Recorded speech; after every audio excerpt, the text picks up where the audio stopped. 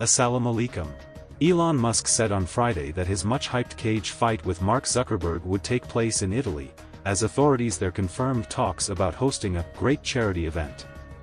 While any showdown between the two tech titans has yet to be officially confirmed, Musk said on his X social media platform, formerly known as Twitter, that arrangements were advancing.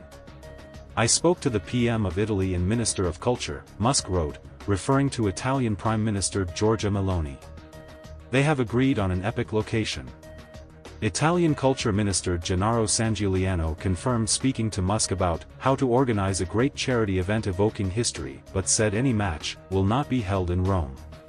Musk said everything done will pay respect to the past and present of Italy and that proceeds will go to veterans. UFC boss Dana White, still seeking participation in the event, told Mike Tyson's podcast this week that he believed the fight would generate $1 billion in revenue.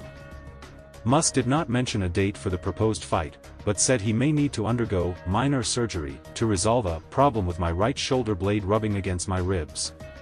The world's richest person has a titanium plate holding two vertebrae together but said Friday it is currently not an issue.